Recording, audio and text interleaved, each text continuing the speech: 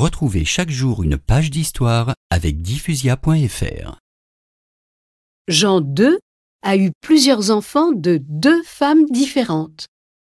Isabelle est la fille de sa seconde épouse. Et elle naît le 22 avril 1451. Et dès 1455, son père meurt.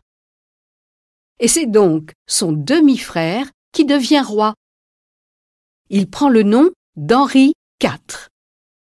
Mais Henri IV était roi de France. Mais Chloé, c'est pas le même. Notre Henri IV a vécu aux alentours de 1600. Et là, on est en 1455.